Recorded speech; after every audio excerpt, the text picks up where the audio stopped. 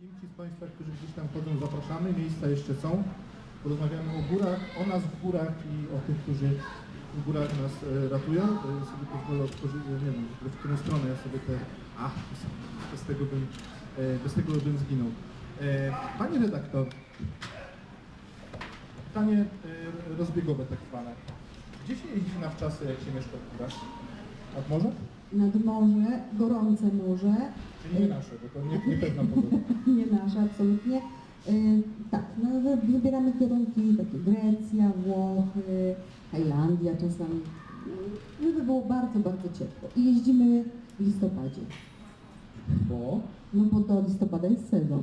Okej, dobra, czyli, czyli w listopadzie.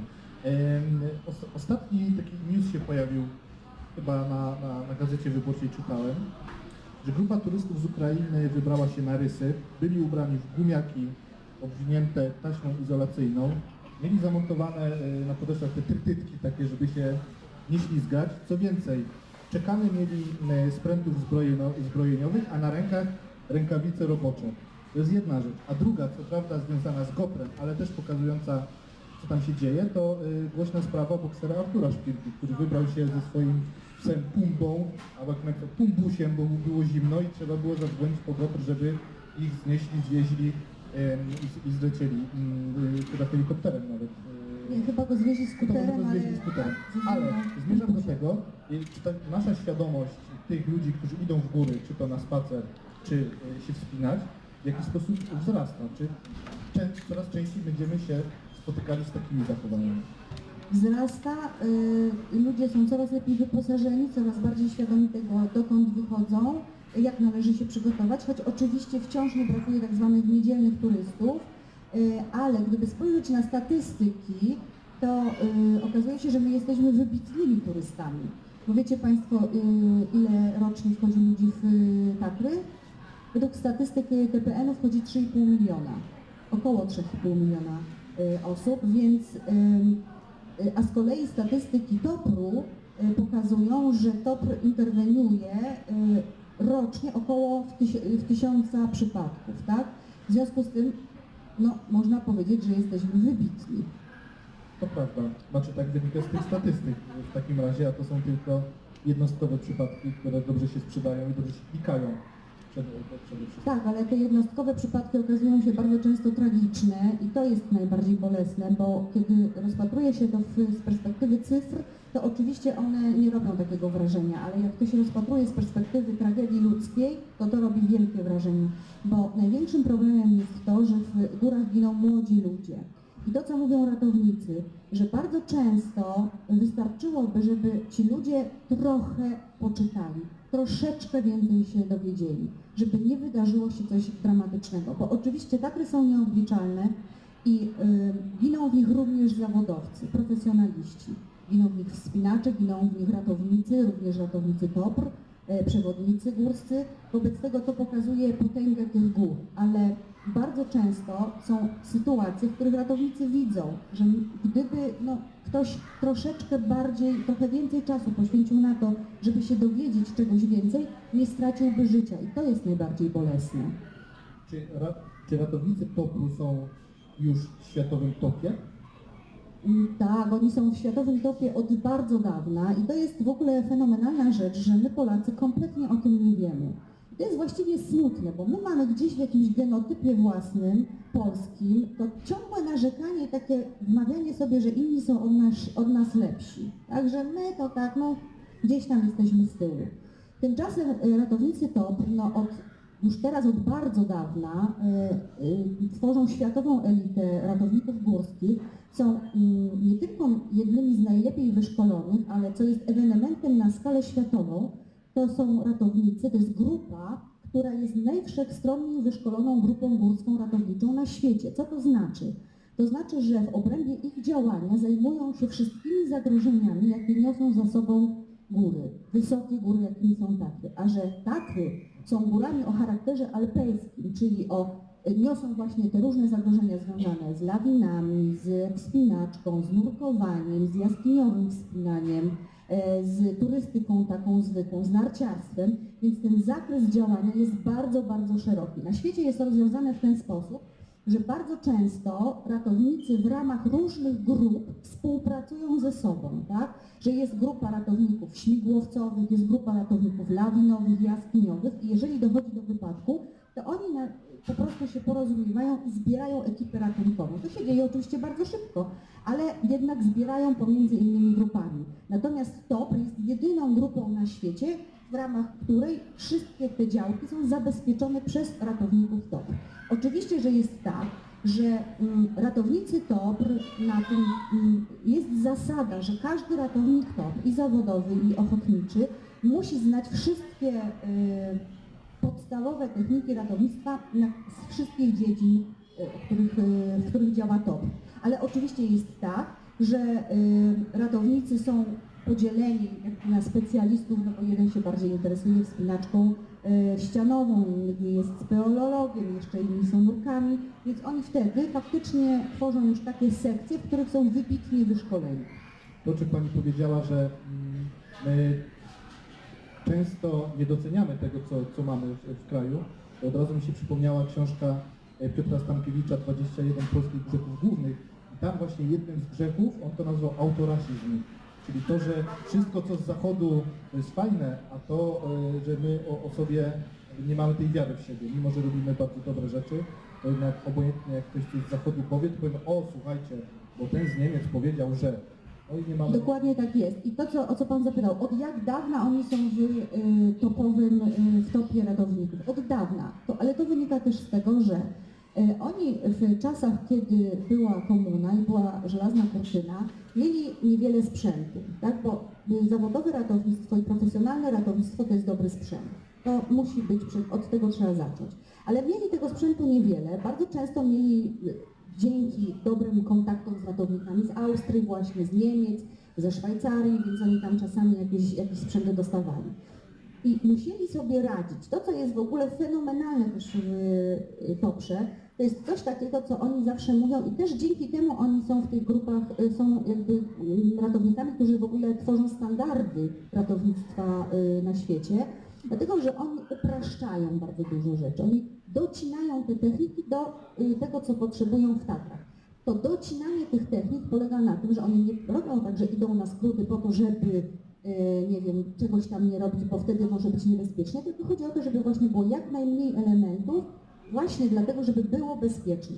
I potem oni wracają z tymi swoimi zmodyfikowanymi technikami na na przykład y, ICAR, czyli Międzynarodową Komisję y, mm, Ratowników Górskich i pokazują to. I oni wszyscy mówią, wow, ale to coś wymyśliliście, zarąbiście, tak? Zbierzemy to i, i stosujemy to na świecie. Jeden z tych przykładów, który e, jest tutaj opisany w książce, to jest przykład tej liny, tak?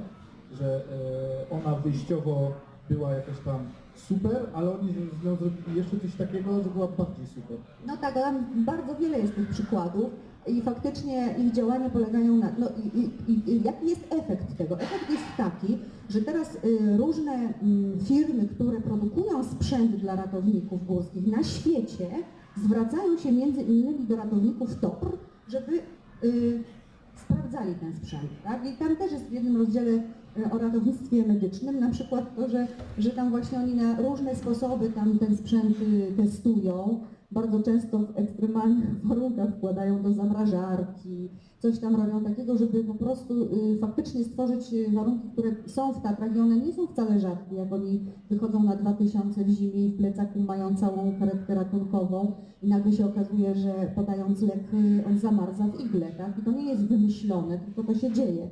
Albo niosą jakiś defibrylator, który ro- tam, nie wiem, niosą, niosą, niosą, a potem czas wywalają baterię, tak? Więc oni na takie rzeczy zwracają uwagę, to musi się sprawdzić w boju i faktycznie jest tak, że oni potem do tych konstruktorów, do tych y, producentów mówią, musicie tu nad tym popracować, nad tamtym i faktycznie ci producenci się ich słuchają. Wcześniej o tym nie pomyślałem, ale kiedy teraz e, o tym rozmawiamy, no to okazuje się, że mamy bardzo mm, dobrze wyszkolone te służby ratownicze, bo tutaj przykład z naszego śląskiego podwórka, czyli Centralna Stacja Ratownictwa Górniczego, która ma siedzibę w Bytomiu, no to też e, faceci są e, top, top na świecie. E, Raz, że wygrywają różne tam, są organizowane mistrzostwa ratowników górniczych i tak dalej, to są też wzywani do różnych katastrof, nawet nie wiem, czy nie byli w- rakiety głośnej jak w Chile, gdzie, e, gdzie wydobywano tych zasypanych górników, ale zmierzam do tego, że chyba i tym górskim, i tym górniczym przyświeca zawsze ta sama zasada, bo e, ci- z kopalni mówią, że po pierwsze nadzieja zawsze umiera ostatnia, a po drugie zawsze idziemy po żywego człowieka. W Toprze nie zawsze tak jest, to znaczy zawsze idą. W Toprze y, ratownicy Topru bardzo często mówią, że oni ratują również martwych. Ratują ich dla rodzin, znoszą martwych. Nie ma y, zwyczaju zostawiania ludzi w górach. Jest kilka przypadków nieodnalezionych ciał, zakładają, że to są ciała, starych bardzo jakichś tam historii, ale właściwie y, jeżeli jest tak, że poszukują kogoś i nie mogą go znaleźć i zakładają, że nie wiem, spadł z lawiną, zamarzł gdzieś w miejscu, gdzie go trudno odnaleźć, to mimo wszystko gdzieś z tyłu głowy mają to, że brakuje im kogoś i przy każdej akcji, jak idą w jakiś rejon, rozglądają się, tak? Dlatego, że nie ma właśnie, mają zasady, że znoszą y, ciała i, i to jest dla nich równie ważne i bardzo y, poważnie do tego podchodzą. I mm, chciałoby się powiedzieć, że nadzieja umiera ostatnia, ale jeżeli oni dostają zgłoszenie, że ktoś widzi, że y, człowiek spada, nie wiem, z kazalnicy albo ze świnicy albo z jakiegoś miejsca, to szanse na to, że oni go odnajdą żywym są marne, tak? Albo jeżeli trwają poszukiwania w zimie, tydzień, drugi, to też te szanse spadają, ale szukają. Tak, na kopalni jest podobnie, wybuch metanu i gdzieś e, tam w chodniku, więc e, no, realnie rzecz ujmując, wiemy, że oni schodzą po, po ciało, o ile w ogóle tam dojdą, e, a, ale dobra, e, porozmawiamy chwilę o pieniądzach, jeśli możemy, ale nie o naszych. Em, Będzie to żenujący problem. Czyli tak, roczny budżet TOPR-u to około 7 milionów złotych, Tak, z czego 60-70% jest e, finansowane z budżetu państwa. tak. Reszta to albo 1%, który przekazują ludzie, albo Polkomtel, albo to już e, nie wiem, czy to się odbywa w parterze, Skoda daje samochody, BP daje paliwo, tak? Tak. I wynika z tego, że tylko śmigłowiec SOKU jest w 100% finansowany z budżetu państwa. Tak, i nawet nie powiedziałabym, że tylko, bo od wielu lat, y, znaczy to jest, to się dzieje od kilku lat, że faktycznie śmigłowiec jest finansowany przez MSWiA. Na szczęście, ale do tej po, tam nie wiem, do któregoś roku w ogóle nie był finansowany, więc jeszcze dochodziło do tej listy poza budżetem finansowanym przez państwo, dochodził śmigłowiec. A y, utrzymanie śmigłowca roczne to jest chyba z tego co pamiętam milion albo dwa miliony złotych. No właśnie. E, No tak, to jest, to, to się bierze z bardzo wielu, y, nie tyle skomplikowanych rzeczy, ale formalnych, bo mm, TOPR jest stowarzyszeniem, to nie jest służba państwowa. Tak jak y, Straż Pożarna albo nie wiem, jakieś inne służby, tak, y, tam policja, wojsko i tak dalej. To jest stowarzyszenie. E, W związku z tym oni, mm, no, można by powiedzieć, że państwo no, nie ma obowiązku być może całkowicie finansować e, TOPR-u, ale jednocześnie, to jest w ogóle bardzo śmieszne, że państwo polskie y, ogłasza przetarg na e, prowadzenie działalności ratowniczej w górach. Do przetargu staje tylko TOPR, bo to jest jedyna instytucja, która jest w stanie w ogóle działać w mm, Toprze, znaczy w Tatrach. No wo- wobec tego oni wygrywają ten przetarg, no i faktycznie za działalność y, ratowniczą oni dostają pieniądze. Oni są niedofinansowani notorycznie, permanentnie, są niedofinansowani, zawsze im brakuje i byłoby miło, gdyby faktycznie mm, rząd y, płacił całość, ale odkąd istnieje TOPR tak naprawdę, czyli od czasu, y, kiedy założył go Mariusz Zaruski w 1909 roku, zawsze było z tym marnie. I już wtedy, kiedy on e, ogłaszał ideę powstania TOPR-u, e, ideę, którą popierał zresztą Mieczysław Karłowicz, znakomity kompozytor, który zginął e, w Tatrach w Lawinie, e, to zawsze było tak, że gdzieś tam oni dopraszali się ciągle o te pieniądze. Więc e, nie wiem dlaczego tak jest, znaczy no wiem, no my jesteśmy po prostu biednym państwem niestety i z tego powodu ciągle to kuleje i faktycznie oni mają sponsorów. Jak Państwo zobaczycie ich kurtki, to one są obszyte tymi różnymi emblematami e, różnych sponsorów. No, Trochę jak u skoczków narciarskich. Dokładnie, trochę jak u skoczków. No i, i to właśnie wynika z tego, że, że oni mają bardzo duże wsparcie w tych, tych firmach, no ale ciągle gdzieś tam muszą kogoś prosić. Też yy, podkreślają, yy, że są bardzo wdzięczni za 1% z podatku, więc jeżeli Państwo nie macie pomysłu, gdzie jeden swój procent oddać, to na Fundację Topru polecam. Polecamy. Skoro roczny budżet to 7 milionów złotych i powiedziała Pani, że rozmowa o finansach będzie żenująca, to w idealnym świecie ten budżet powinien być jak dwa razy taki, trzy razy? Trudno, bo nie, nie wiem tego po prostu. Oni, nie wiem, czy oni w ogóle takie, znaczy chcieliby, żeby być może te 7 milionów po prostu dostali, tak? A ten, y, cała ta historia sponsoringu, żeby to była na coś dodatkowego, tak? Być może na jeszcze lepszy sprzęt, na, nie wiem, na jeszcze jedne, na, na samochody jeszcze lepsze, na skutery, chociaż mają bardzo dobry sprzęt. Taki, no ale zawsze tego sprzętu może być więcej, tak?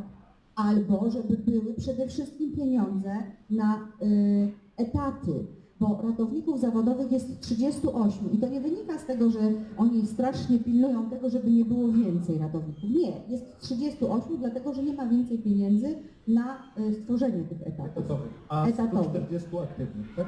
Tak, znaczy grupa szturmowa tak zwana to mm, około 150 jest ratowników. Takich, którzy w każdej chwili mogą wyjść do akcji. Oni są certyfikowani, oni y, się tam unifikują co 3 lata, więc to nie jest tak, że się zostaje ratownikiem raz na całe życie. Oni muszą się jakby co 3 lata y, sprawdzać. O tej em, weryfikacji, szkoleniach, to, to zaraz jeszcze o tym porozmawiamy, ale czy TOPR jako taki ma jakieś możliwości zarabiania? Tak, to jest jedyną działalność, jaką prowadzą, to jest y, zabezpieczanie stoków narciarskich i w okresie zimy właśnie teraz y, ostro działają. E, Tak, i za to dostają pieniądze od gestorów y, sto, wyciągów. Rozumiem, że to w całej tej... Nie, no to jest 7 kropla.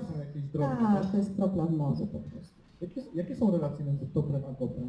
O matko, To- to bardzo. Chce pan, żebym tutaj wyszła z ciupaną w plecach? Nie, nie. Trochę drażliwy, ale to nie wiem, właściwie trochę ja go wywołałam. To kurczę, ta natura dziennikarska to jest jednak straszne, jakieś tak się przyczepi do człowieka. E, to jest tak, że y, y, na początku był TOPR. E, W 1909 roku Tatrzańskie Ochotnicze Pogotowie Ratunkowe. E, Potem w latach e, 50., kiedy ta turystyka, tak zwana turystyka masowa zaczęła się rozwijać również w innych górach, no to siłą rzeczy zdarzały się wypadki i sięgnięto po jakby ekipę, po instruktorów, po ratowników z Tatr, bo oni się na ratowaniu ludzi w górach znali. I stworzono w tych poszczególnych górach grupy ratownicze, tak? Bardzo podobne do y, Tatrzańskiego Ochotniczego Pogotowia Ratunkowego. No i ktoś wymyślił, że dobrze by było, żeby to się, żeby to scalić w jedno, czyli żeby powstał y, GOPR, czyli Górskie Ochotnicze Pogotowie Ratunkowe i w ramach GOPR-u, żeby były poszczególne jednostki. Tam Karkonoska Grupa GOPR, Państwo teraz jak słyszycie wiadomości to czasami jest Beskidzka Grupa GOPR, Podhalańska Grupa GOPR, no i między innymi była Tatrzańska Grupa GOPR. I mm, byłoby może nieźle, tylko że jak to za czasów komuny, wszystkim było, należało się porówno, tak? Więc y, to, te same pieniądze trafiały do Beskidzkiej grupy, jak i do tam, Tatrzańskiej. No, życie tymczasem, jak wiemy, jest takie, że nie zawsze jest porówno, nie zawsze porówno to znaczy sprawiedliwie, no bo po prostu Toprowi zawsze brakowało, ponieważ no, te góry są znacznie y, wyższe, y, trudniejsze, no i bardziej więcej pochłaniały środków. No i tam zaczęły się różne tarcia, problemy, dyskusje. Bardzo się zrobiło w pewnym momencie nieprzyjemnie do tego stopnia, że TOPR postanowił się po prostu oderwać od GoPru. No, mm, nie było to łatwe. To jest tutaj trochę opisane w książce. Nie, już tam tego nie mm, eskaluje, ale skończyło się generalnie y, procesem sądowym. I w ogóle oparła się ta sprawa o prezydenta, o premiera, no naprawdę było super ostro. I nie wiem, jak to by się skończyło, gdyby nie pęknięcie, a właściwie wyjście, znaczy upadek komuny, bo w 1991 roku to się ostatecznie udało, TOPR odłączył się od GoPru i znowu stał się TOPRem. I mm, to y, pozostawiło ślad w jakichś relacjach, może nie tyle pomiędzy ratownikami, ale pomiędzy mm, szefami grup, tak? E, I przez wiele, wiele lat było tak, że, że tam jak e, goprowcom się mówiło o toprowcach, no to oni się tam mm, krzywili i odwrotnie.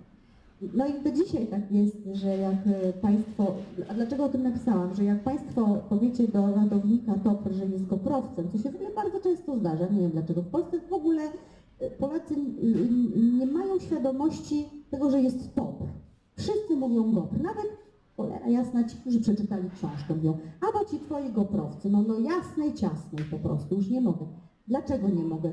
Bo każdy ratownik TOPR, jeżeli mu powiecie, że jest goprowcem, to Państwa poprawi. Nie, jestem ratownikiem TOPR. Tymczasem, jak powiecie goprowcowi, że jest goprowcem, niekoniecznie. Awans. awans. E, Załóżmy, mm, że tutaj Państwo e, chcą wstąpić do TOPR-u. Czyli e, odbywa się to tak, że to jest e, w ogóle ciekawe, że muszą być dwie osoby polecające, tak? To się nazywa bardzo ładnie i tak seksualnie. To, są, y, to jest dwóch członków wprowadzających. dwóch członków wprowadzających. No i oprócz tego mm, e, teoria to raz, a dwa e, zimą sprawdzanie umiejętności na nartach, tak? A wiosną spinaczki. I to, to się co chwilę odnawia, no i w sumie cały czas trzeba się e, uczyć i utrzymywać te, e, te kondycje. TOPR jest organizacją, która sta, y, stawia bardzo wysokie wymagania. Niezwykle wysokie wymagania już na etapie kandydata na kandydata. To jest w ogóle coś niezwykłego.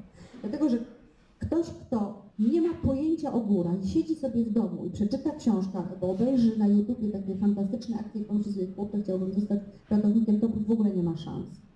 Dlatego, że w ogóle ratownicy TOPR nie robią czegoś takiego jak naboru na ratownika. Tak? Nie, nie ma czegoś takiego. Dlatego, że ktoś, kto chce zostać ratownikiem, to, to musi być ktoś, kto bardzo dobrze zna góry i zna, y, umie się wspinać, umie jeździć na nartach, ale nie na trasach narciarskich, tylko poza trasami. Musi znać bardzo dobrze topografię gór i musi coś wiedzieć jeszcze o tym, dokąd wstępuje. To jest w ogóle sam początek. E, Czyli najczęściej to są ludzie, którzy już są skru- klubów speleologicznych, ze klubów, y, klubów wspinaczkowych. To są ludzie, którzy już gdzieś tam mają w jakiś sposób kontakt y, z toprem, bo gdzieś chodzą po tych górach i się spotykają z ratownikami, z instruktorami itd. Dlatego druga rzecz, muszą znaleźć tych dwóch członków wprowadzających. To jest towarzystwo elitarne, ale to nie polega na tym, że oni się jakoś tak wybitnie cenią sami, tylko oni uważają, że jeżeli ktoś chce zostać ratownikiem, to musi być ktoś, kto, na kogo my, oni mogą już liczyć i warto w niego inwestować. No po prostu to jest taka bardzo prosta kombinacja i przelicznik taki, że jak ja kogoś wezmę do topru i będę go dwa lata szkolił, i wrzucę w niego wielkie pieniądze, a on mi potem powie, jednak mi się to nie podoba, no to nie ma sensu. I tych dwóch członków to są ludzie, którzy mówią na przykład, my znamy tego gościa, wiemy kim on jest, warto na niego postawić. Mało tego, ci ludzie są za niego odpowiedzialni właściwie przez cały czas, kiedy on jest w toprze. Nie tylko w tym okresie pierwszym, ale również kiedy on już jest ratownikiem, bo zdarzają się takie historie, że nie wiem, on się nie sprawdza, to oni biorą na dywanik, y, zarząd bierze tych dwóch członków. Kogo byście nam tutaj polecili? Więc to jest, y, no to wynika po prostu z tego, że już też na tym etapie kandydowania na ratownika ten kandydat dostaje bardzo dużo rzeczy do zrobienia już takich dosyć odpowiedzialnych. Więc to nie może być, nie chcę użyć słowa byle kto, no ale to nie może być człowiek znikąd. To musi być ktoś, kto może za niego poręczyć.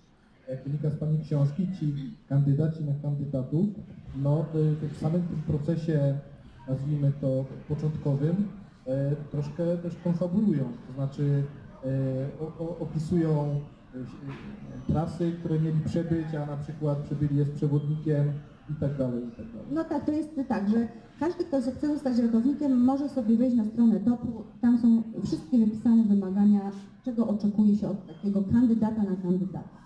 E, Zanim ten ktoś zostanie kandydatem, e, przechodzi test. Tak? Oni to bardzo szybko zweryfikują, no bo wezmą go na ściankę i każą po prostu mu zrobić pewne rzeczy. Jak on nie będzie umiał tego zrobić, to będzie wiadomo, że zmyślał. Tak? E, I właściwie już ta pierwsza selekcja y, eliminuje tych, którzy właśnie sobie wymyślili, że będą ratownikami Natomiast ci, którzy się dostają faktycznie na ten okres kandydacki, czyli już się stają kandydatami, to oni przechodzą dwuletnie szkolenie. I to jest szkolenie letnie, wiosenne, zimowe i uczą się bardzo wielu technik ratowniczych. E, Toż y, ten okres kandydacki kończy się egzaminem, właściwie dwoma egzaminami, bo zimowym i letnim. No i wtedy, jeżeli oni ten egzamin przejdą, składają przysięgę i zostają ratownikami, ochotnikami. Proszę powiedzieć, jak hermetyczne jest to środowisko? Znaczy Pani przyszła i powiedziała, cześć chłopaki, chcę o Was napisać książkę. I, o, super, ekstra, zapraszamy, wszystko Ci powiemy. Czy to raczej kropla drążyła skałę? Kropla drążyła skałę, to znaczy y, w ogóle nie byłoby szans, żebym przyszła tak sobie powiedziała, cześć chłopaki, chcę napisać o was książkę. Nie wiem, chyba bym, no nie wiem, no wolałabym tego nie sprawdzać. Y, Ja mm, no, pracowałam y, 12 lat w Radiu Z i przez te 12 lat y, przyglądałam się ich pracy, a właściwie oni przyglądali się mojej pracy. Y, I tutaj jest tak, że to nie ja musiałam ich znać, ale oni musieli znać mnie. Y, I mm, myślę, że faktycznie sukcesem jest to, że mi zaufali, ale ja sobie to zaufanie musiałam wypracować. Było to bolesne czasami, przyznaję, dlatego że zdarzało mi się dostawać ochrzan, zdarzało mi się dostawać jakieś tam, wiem, reprymendy, że coś co? źle. No na przykład y, no za, za, za to, za co dostają najczęściej dziennikarze, czyli za taką historię, że mm, no, dlaczego, znaczy ratownicy TOPR w ogóle nie lubią dziennikarzy niestety. Dlaczego nie lubią dziennikarzy? Bo my dziennikarzy kochamy sensacje. Dla nas Górnicy też. no ale, ale właśnie prawdopodobnie z tego samego powodu. Dla nas y, wypadek w Tatrach i tragedia w Tatrach jest sensacją, tak? którą można podać na pierwszą y, stronę gazet albo y, jako news, jako jedynkę w wiadomościach. Dla ratowników w tragedii ludzkiej nie ma nic sensacyjnego. I tutaj się rozłazimy totalnie. I te okrzany to były, y, polegały na tym, że właśnie gdzieś tam się być może za bardzo zapędziłam. Któryś usłyszał relację, no tu mogłaś sobie darować, tu mogłaś jednak y, tego nie mówić, tak? Więc, y, więc no, po prostu musiałam się tego, tego nauczyć, tego przetwarzania informacji, jaką dostaję od nich, tak? Żeby, no i oni musieli nabrać do mnie zaufania, że wiedzą, żeby wiedzieć, że się Panu moja książka podoba. Myślałam, że tam nie ma nic śmiesznego, ale może. Dobrze, niech Pan tutaj może się poświęcić trochę. Może nawet będzie czytał na głos za chwilę. No w każdym razie, w każdym razie faktycznie to wymagało tego, żeby, żeby oni nam do mnie po prostu nabrali zaufania. No i faktycznie wtedy jak ja już tam przyszłam, powiedziałam, że chcę napisać książkę do naczelnika TOP, to on powiedział taką rzecz.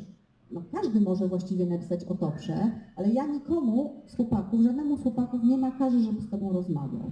Więc jeżeli oni się zgodzą, proszę bardzo, możesz pisać. No i faktycznie tak było. To, y, W jednym z wywiadów powiedziała Pani, że nikt y, nie odmówił, ale jeden z nich wycofał swoje zeznania. Tak, żaden z chłopaków nie odmówił. Jeden e, kolega wycofał, nie był pewien tego projektu, zastanawiał się, zastanawiał się, bał się, że, znaczy powiedział mi wprost, że on się boi, że to będzie po prostu jakaś taka opowiastka o ratownikach, która no być może nie przypadnie mu do gustu.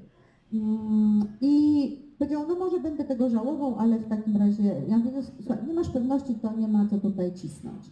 No i ostatnio mi powiedział, że żałuje, że nie wziął udziału w tym projekcie.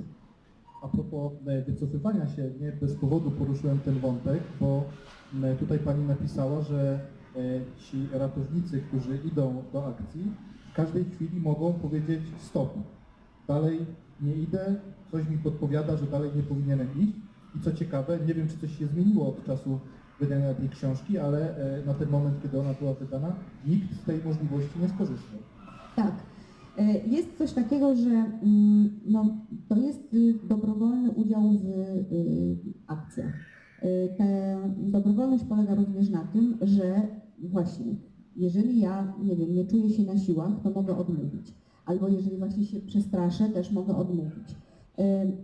To wynika z tego, że nikt od tych chłopaków nie wymaga bohaterstwa na siłę i nikt od nich nie może wymagać tego, żeby mimo wszystko ryzykowali własnym życiem, jeśli sami nie czują jakby mm, potrzeby pójścia na taką akcję.